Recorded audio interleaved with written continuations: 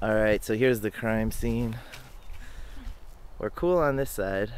I actually got out of the car and checked them in this order and was so excited to see that we weren't too stuck. Came around here. Still good. And then bam! Whole tire was completely submerged. Well, you can see the line. Halfway submerged in wet sand. Moving.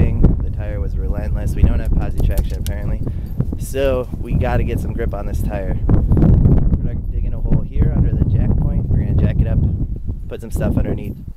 Hopefully we can back out smoothly.